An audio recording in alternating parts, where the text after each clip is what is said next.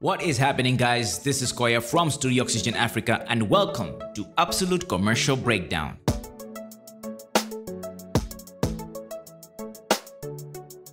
So recently, Studio Oxygen worked on a First Capital Bank ad in their fraud campaign. But before I talk about it, let's take a look.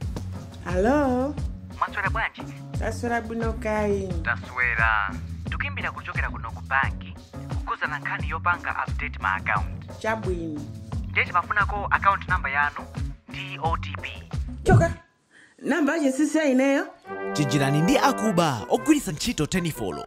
Komanso osapereka pin kapena otp yanu kwa wina aliyense.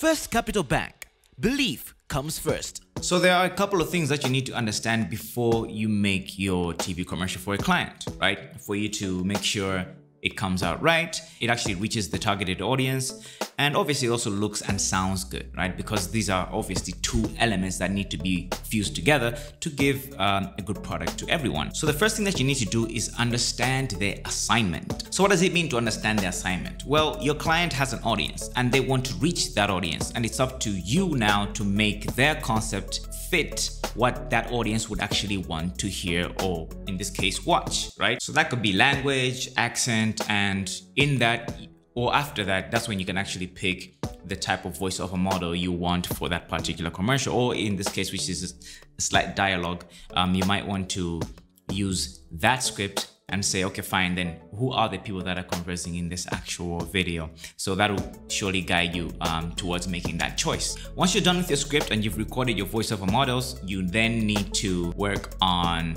the music for the ad. Now, it is very important for you to actually give the best possible sound for the scenario and not just pick something off of the web and just smack it on. I mean, you can find several ways of i don't know downloading soundtracks whatever which i don't recommend personally because i don't. We prefer making our own soundtracks because it fits the ad very well. We know we know what we want to say.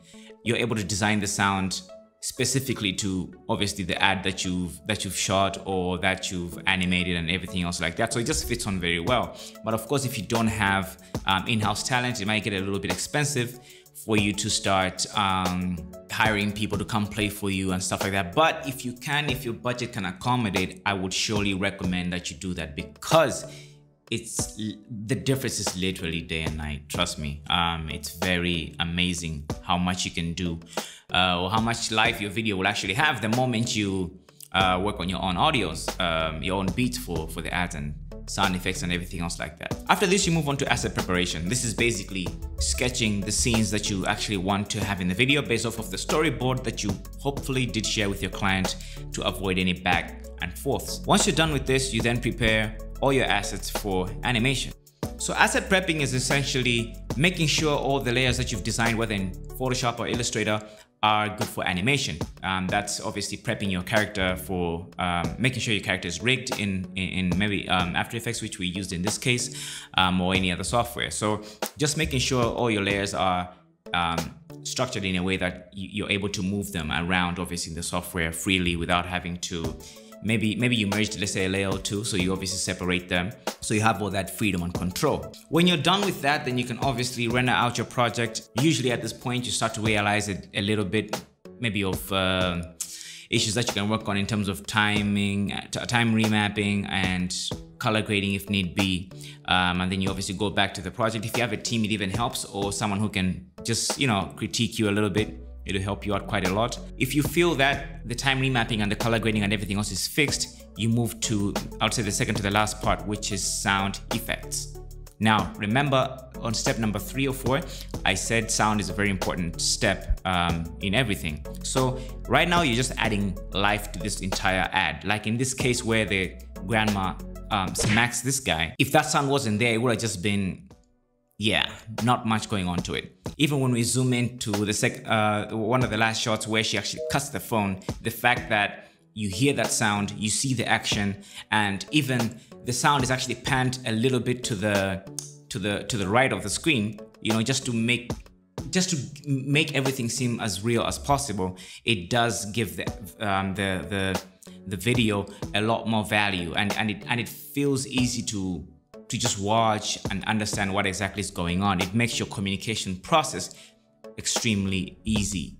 After this, you're more or less done with everything. You can render out your project and show it to, like I said, a few people that you know might give you valuable input. Uh, maybe work on work on a few of those things, and after that, you're actually ready to go. So I hope this has been somewhat of help in terms of how we are able to work on our projects at Studio Oxygen.